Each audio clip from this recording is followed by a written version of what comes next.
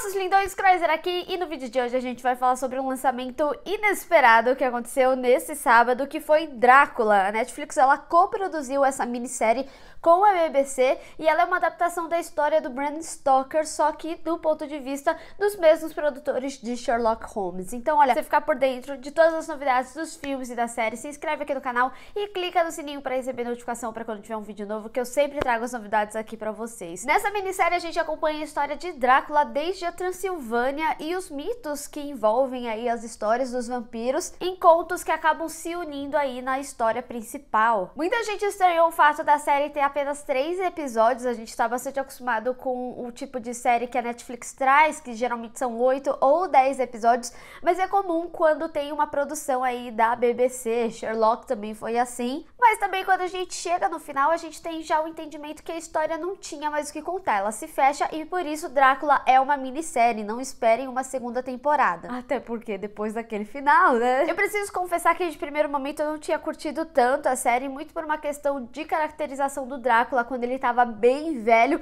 e também com relação ao sotaque dele da Transilvânia e alguns aspectos de terror, mas conforme ele vai rejuvenescendo, eu fui sendo mais pega ali pela história e também porque essas características acabaram sumindo ao longo do primeiro episódio. Então, quando a gente chega no momento em que a Agatha começa a questionar o Johnny sobre a passagem dele ali pelo palácio, cada vez mais a gente vai ficando curioso com aquela história. Então é muito interessante que a narrativa ela vai acompanhando a sua linha de pensamento e vai preenchendo aí as lacunas sobre esse mistério do Drácula. E fun fact, a série também faz aí uma referência a Sherlock Holmes que é bem sutil, mas é legal de ver durante a série. Como eu falei, conforme o Drácula vai rejuvenescendo, eu também fui sentindo que o Claes Bong foi ficando cada vez mais confortável com seu personagem e cada vez mais veio trazendo também esse humor britânico do personagem. Eu gostei muito, principalmente quando tem aquele diálogo ali logo no primeiro episódio, como por exemplo quando o Johnny fala que ele é um monstro e ele rebate falando que o Johnny é um advogado. Então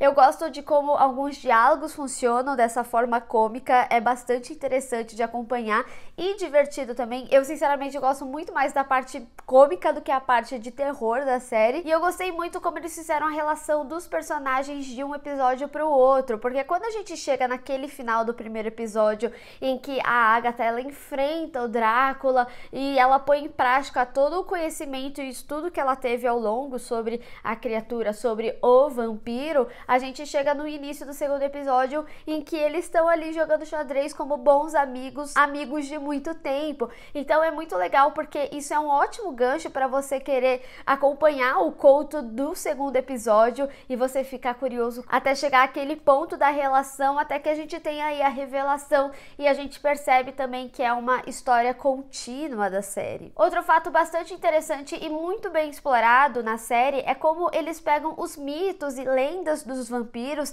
e colocam em cada episódio, principalmente quando se diz aí sobre enfrentar um vampiro, já que a série fala justamente disso, desse enfrentamento com o Drácula. Então, no primeiro episódio a gente tem ali a estaca e o crucifixo. No segundo episódio a gente já tem uma inserção do enxofre e no terceiro é mais com essa relação ao sol. Então eu gostei como cada episódio foi trabalhado nesses aspectos. O episódio 2 me lembrou bastante Assassinato no Expresso do Oriente, que é aí o clássico desse gênero de quem é o assassino, mas também como ele se encerra com toda essa relação do jogo de xadrez, que foi algo que começou ali o episódio de toda essa relação da Agatha com o Drácula. Como eu tinha falado da questão do humor britânico do Drácula, eu gosto muito como a série ela traz nos diálogos a mente peculiar do Drácula, porque ele viveu muitos anos e aí tem um certo momento até nesse segundo episódio que eles chegam a ter um diálogo sobre ele ficar com as pessoas sendo que ele vai matá-las no final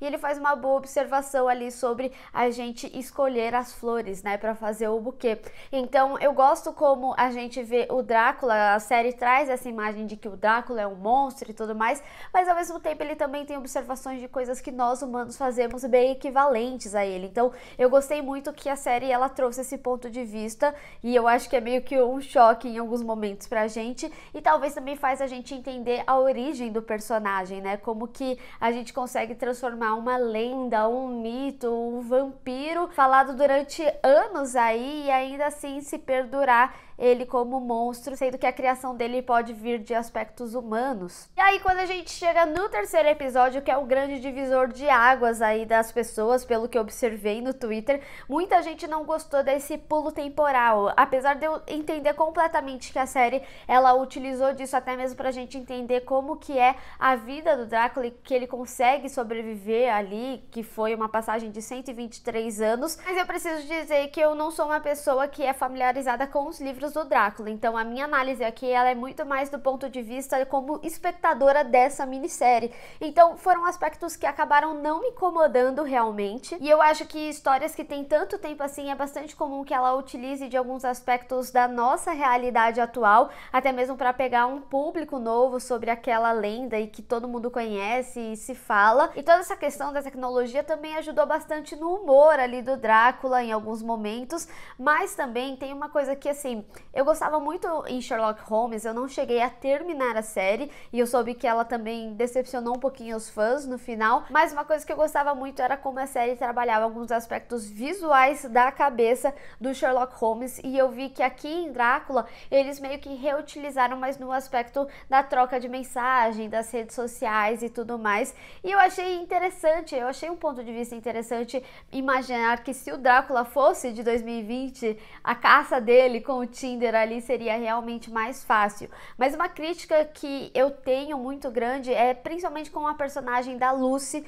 que eu achei que ela foi uma mulher bastante fútil. Eu não gostei de toda a história dela ser envolta com relação à beleza. Então, eu acho que tinha alguns aspectos muito mais importantes para serem trabalhados aí na personagem sobre essa liberdade feminina, principalmente quando a gente tem esse contraste de passado e presente. E no final das contas, essa imagem que a gente viu é bastante do século passado, não foi nada atual. Outro fato que eu gostei que foi inserido aí nessa série foi sobre a gente possivelmente discutir a bissexualidade do Drácula, já que ele não tem uma distinção das suas vítimas, que pode ser homem, pode ser mulher, e em alguns aspectos a gente tinha cenas bastante sexuais, tanto no primeiro episódio com Johnny, até mesmo no segundo episódio, então eu acho que seria algo a ser explorado, talvez, no personagem. Mas mesmo que esse terceiro episódio ele seja um divisor de águas aí, se a pessoa gostou ou não da série, a gente tem que reconhecer que ele é um dos episódios mais bonitos de se ver e eu gosto muito como eles trabalharam algumas questões da fotografia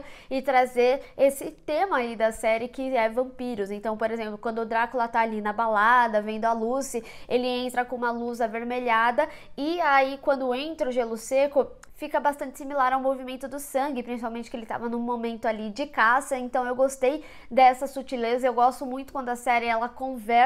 a sua mensagem principal ali na fotografia e também quando a gente vai ali para sua casa, o seu apartamento e a gente tem uma janela enorme que remete bastante a um caixão e quando reluz na janela o reflexo vem num formato de uma cruz. Então eu gosto muito como a série trabalhou isso e esse mesmo tipo de detalhe a série trabalha ao longo aí dos seus três episódios com a mosca, que ela já dá aí uma dica de que a mosca está relacionada com a morte. Então quando a gente tem a revelação ali do Johnny, do que, que aconteceu com o Johnny, na realidade a série desde o início estava avisando quando aquela mosca entrou ali nele e tudo mais. Então eu gostei muito dessas sutilezas pensando depois no todo com a série. Mas fica aí a minha dica que se você tem medo de criança em obras de terror, eu não recomendo que você assista o terceiro episódio à noite. Eu levemente me arrependi. Eu acho que esse terceiro episódio ele é um episódio que trabalha bem os aspectos do Drácula ainda assim, toda essa questão da imortalidade, tanto nessa questão da passagem de tempo quanto a conclusão da série. Então, eu sinceramente entendo que é uma repaginação, é uma visão um pouco mais atualizada sobre o vampiro, mas eu entendo também as pessoas que acabaram não gostando por esse aspecto. E uma coisa que eu gostei muito dessa minissérie é que ela vai direto ao ponto, ela não tem rodeios e por isso que quando eu vi três episódios e eu vi que o enredo acabou perfeito para mim. No final das contas, eu acho que a gente tem uma série com saldo muito mais positivo porque ela entrega a essência do Drácula, mesmo que tenha essas questões que as pessoas não gostaram, pelo menos da história principal aí do Drácula. Mas deixa aí nos comentários o que, que você achou da minissérie Drácula da Netflix com a BBC. Vamos discutir. Bem, pessoal, espero que vocês tenham gostado desse vídeo. Não esqueça de deixar o seu gostei e compartilhar nas redes sociais, inclusive me segue lá. Se inscreve no canal e clica no sininho para receber notificação para quando tiver um vídeo novo. Te vejo no próximo. Tchau!